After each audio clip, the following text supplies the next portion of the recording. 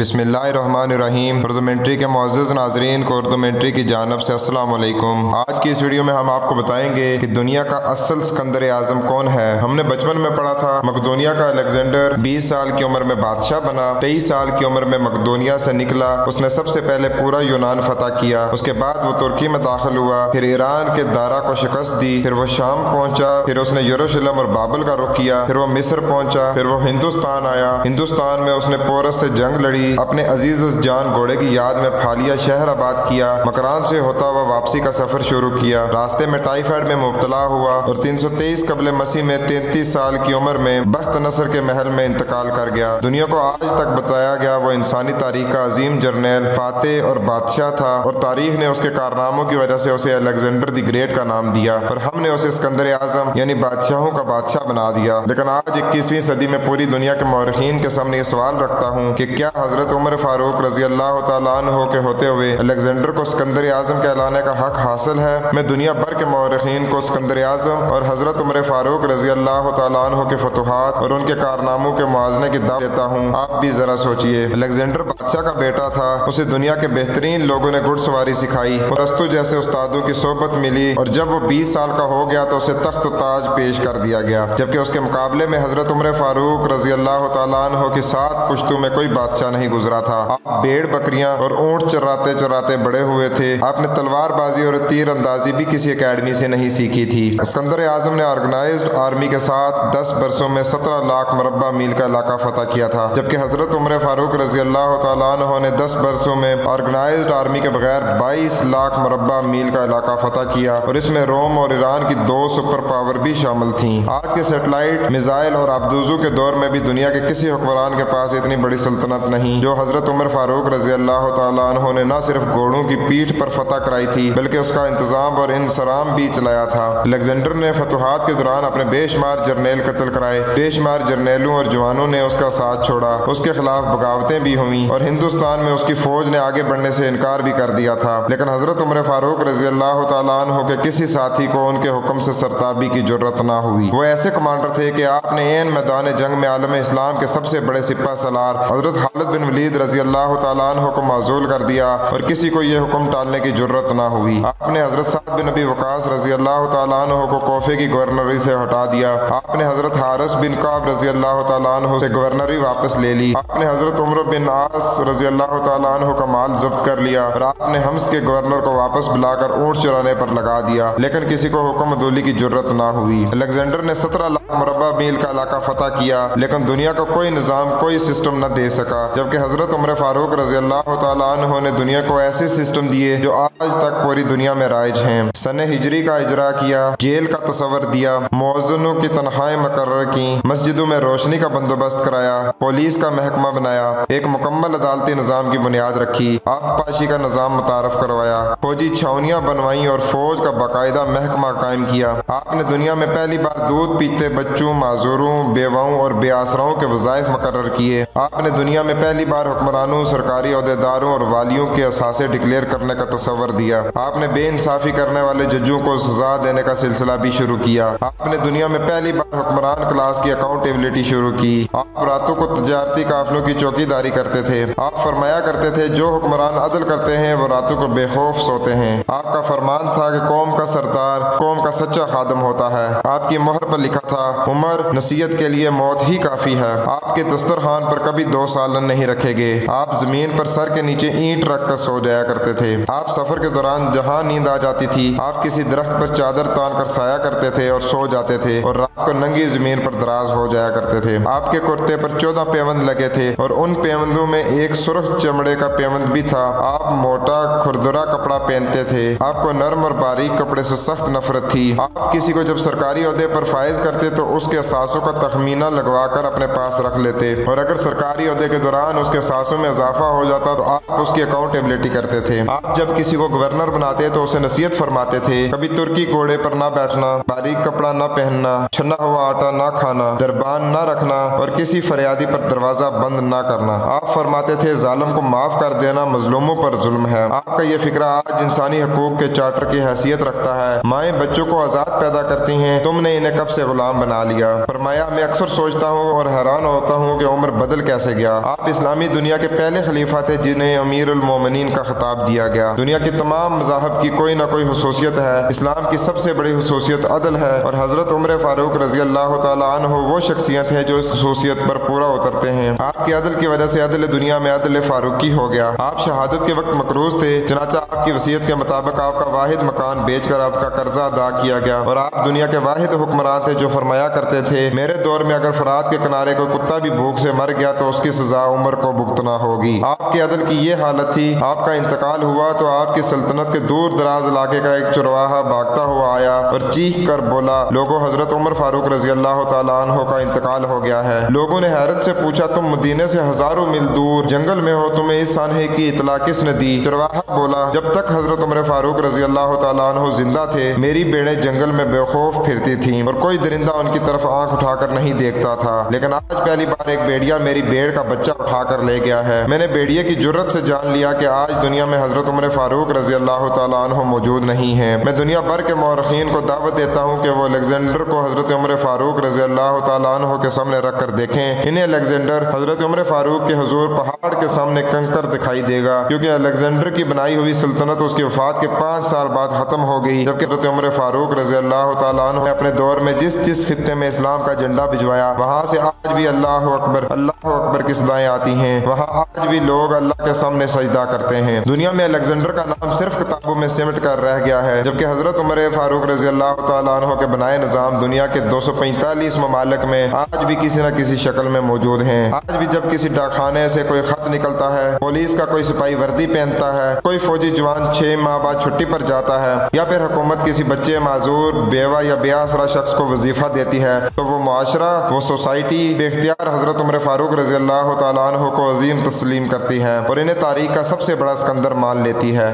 سوائے ان مسلمانوں کے جو آج احساس کمتری کے شدید احساس میں کلمہ تک پڑھنے سے پہلے دائیں بائیں دیکھتے ہیں۔ لاہور کے مسلمانوں نے ایک بار انگریز سرکار کو دھمکی دی تھی۔ اگر ہم گھروں سے نکل پڑے تو تمہیں چنگیز خان یاد آ جائے گا۔ اس بات پر جواہر لال نہرو نے مسکرا کر کہا تھا، افسوس، آج چنگیز خان کی دھمکی دینے والے مسلمان یہ بھول گئے کہ ان کی تاریخ میں ایک عمر فاروق بھی تھا، جس کے بارے میں مستشرقین اعتراف کرتے ہیں کہ اسلام میں اگر ایک عمر اور ہوتا تو آج دنیا میں صرف اسلام ہی دین ہوتا۔ ہم آج بھی یہ بھولے ہوئے ہیں کہ ہم میں ایک حضرت عمر فاروق بھی تھے، جن کے بارے میں حضرت محمد صلی اللہ علیہ وآلہ وسلم نے فرمایا تھا کہ اگر میرے بعد کوئی نبی ہوتا تو وہ عمر ہوتا۔ تو معزز ناظرین، یہ تھی ہماری آج کی ویڈیو۔ کمنٹ باکس میں ضرور بتائیے گا کہ آپ کے خیال میں اسکندر اعظم کون ہے۔ اگر آپ کو ہماری ویڈیو پسند آئے تو اسے لائک، شیئر اور سبسکرائب ضرور کیجیے گا۔ اور ہمارے چینل کو سبسکرائب کرنے کے ساتھ گھنٹی کے نشان کو دبانا نہ بھولیے گا تاکہ ہماری ہر نئی آنے والی ویڈیو تسلسل و تواتر کے ساتھ آپ کو موصول ہوتی رہے۔ اپنا بہت سا خیال رکھیے گا، خوش رکھے خوش رہیں۔ السلام علیکم۔